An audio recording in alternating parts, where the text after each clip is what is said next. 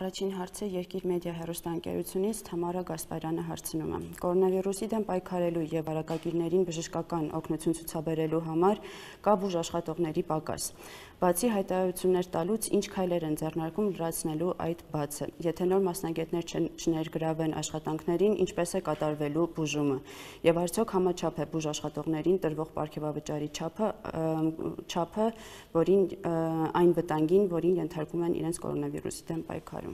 Շատ լավ հարցի վերաբերյալ առողջապահության նախարարությունը տեղեկացրել է, որ կորոնավիրուսային համավարակով պայմանավորված հենց վիրուսի բուժմամբ զբաղվող բուժաշխատողների վարձատրությունները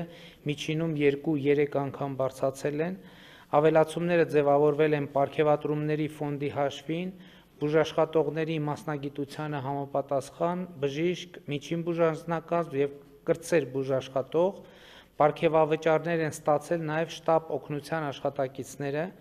Առողջապահության նախարարությունը բուժաշխատողների համար ապահովում է նաև կեցության եւ սննդի հարցը,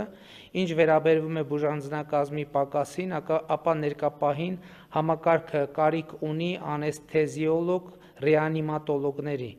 մնացած մասով աշխատանքներ է տարել հենց նախարարությունը եւ կարողացել է աշխատանքներին ներգրավնել նաեւ մեծ թվով կամավորների, բուժաշխատողների, կլինիկական օրդինատորների։ Ասեմ նաև, որ այս համատեքստում նաև առողջապահության նախարարությունը, կառավարությունը միջոցներ են ձեռնարկում հանրապետությունում բժշկական կարողությունները, վերակենդանացման բաժանմունքների մասնավորապես կարողությունները ավելացնելու համար, բայց սիրելի հայրենակիցներ, դուք բոլորդ, մենք բոլորս ունենք հնարավորություն նման